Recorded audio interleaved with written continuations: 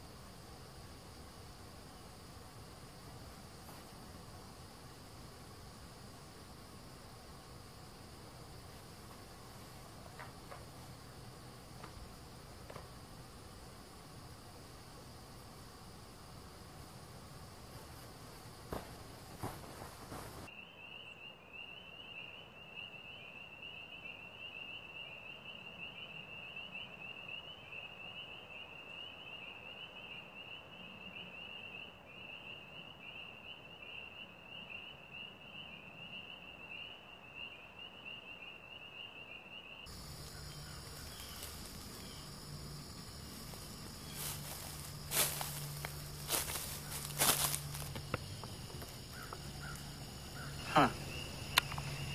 They said a house on this island went condemned for some reason. This must be it.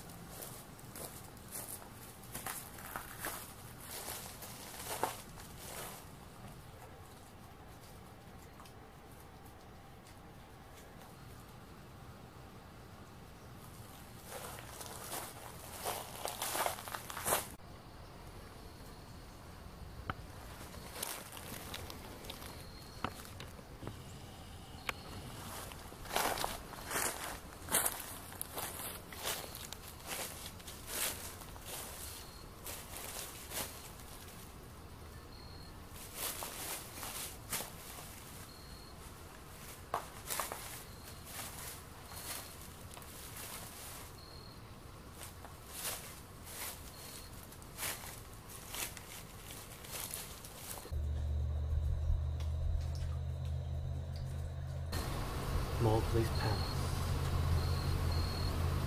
The gold mine. Oh, all the stuff I can find here.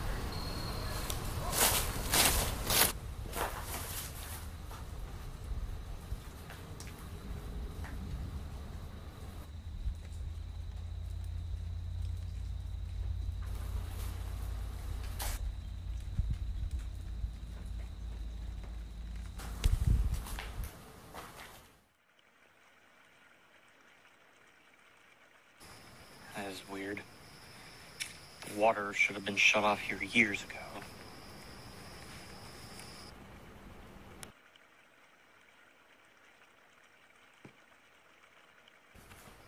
I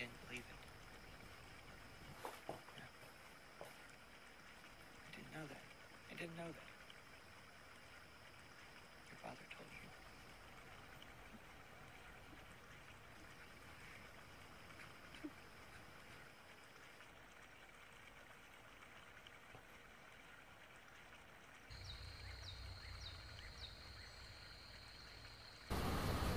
I don't think anyone's ever gone down there before.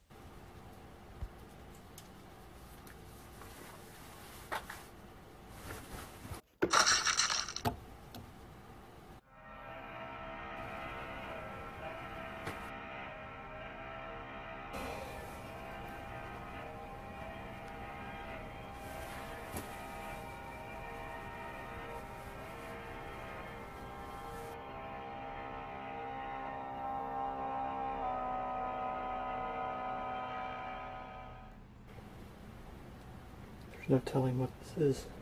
Maybe this is just gross negligence, but Disney is responsible for this.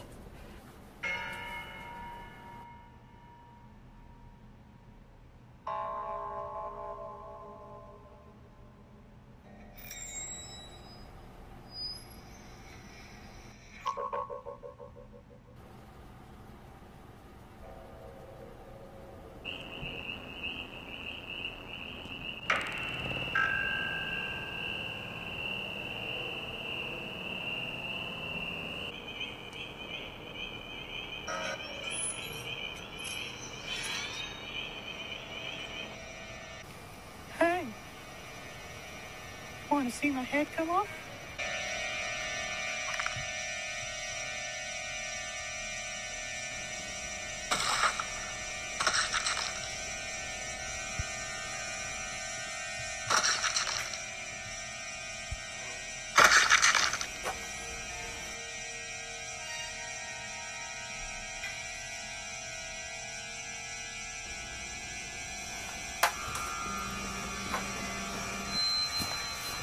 Never could get those photos out of my now broken camera, so I unfortunately can't show you any of my proof. It's as if that damn thing down there did Disney a favor. I left that island and fled for my own sanity, let alone my own life. I understand that you're never going to believe me, most of you aren't, but I know what I saw, and I now know why Disney abandoned that place. They didn't want anyone like me getting in. They didn't want anything like that getting out.